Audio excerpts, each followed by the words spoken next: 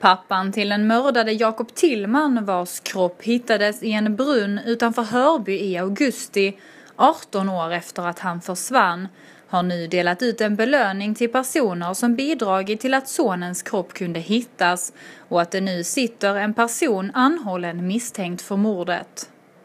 Skånska Dagbladet har följt med när han träffade en av dessa personer, spolbilschauffören som var den som gjorde fyndet i brunnen. Han berättar för Skånskan att han hade svårt att sova långt efter att han hittade kroppen. Nu är han en av de tre som får dela på en belöning på 100 000 kronor.